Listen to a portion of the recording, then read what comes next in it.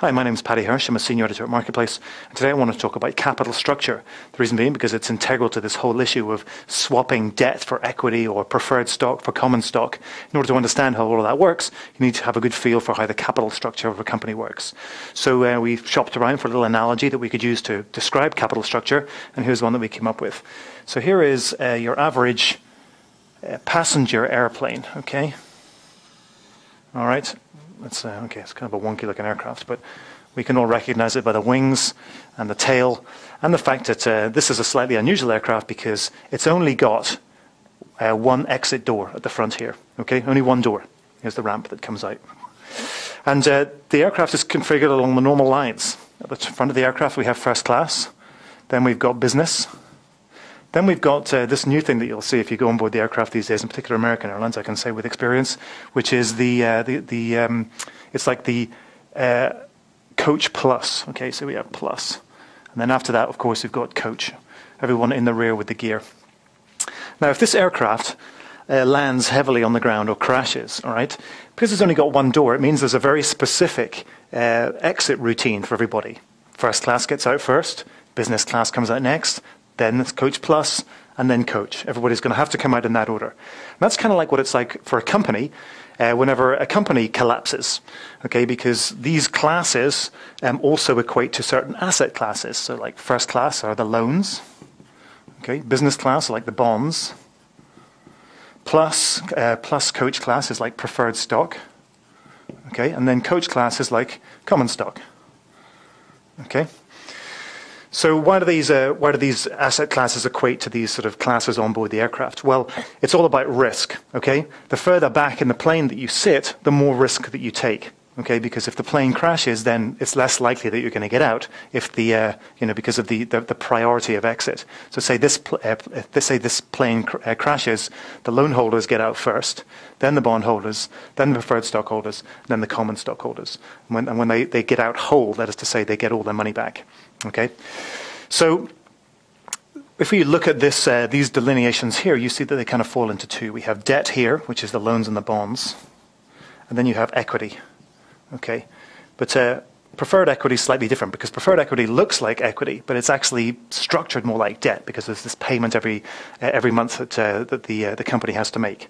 So all of these issues here these asset classes, loans, bonds, and preferred stock, these guys all receive, or these people all receive a payment every month.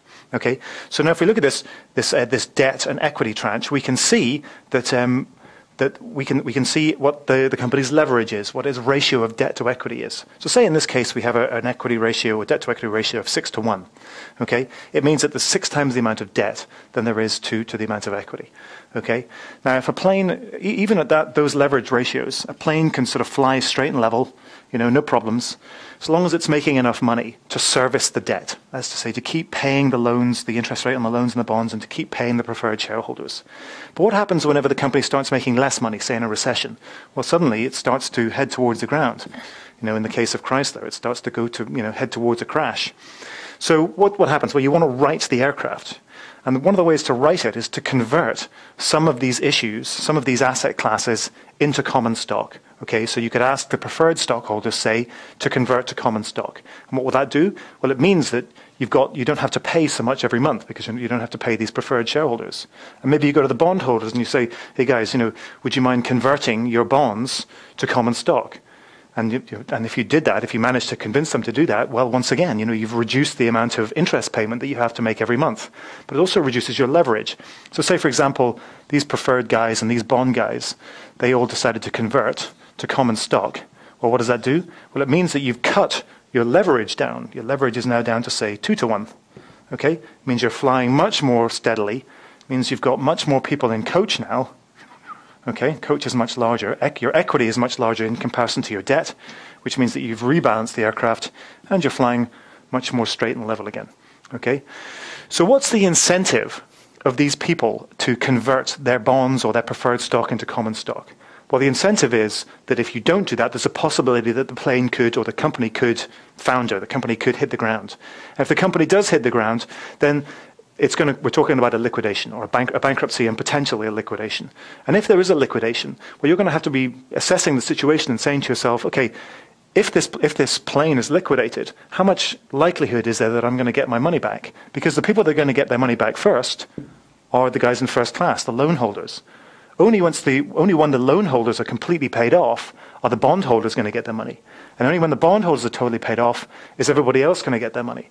So if you're a bondholder, in this case, and you're thinking about converting to common stock, you're going to say to yourself, am I going to get my money back if we crash?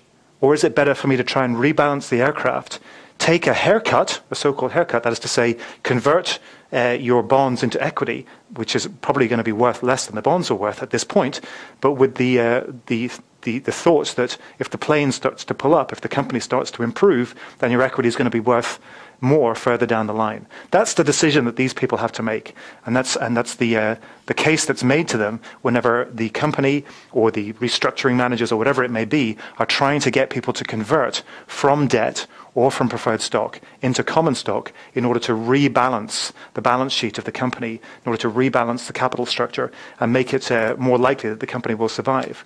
Of course, the bondholders may decide, you know what, maybe we'll wait to see what happens if the, if the plane steams into the ground. Maybe we'll wait to see how bad the crash is. Maybe we'll wait to see what the recovery potential of the company is and whether or not I can get paid out at the end.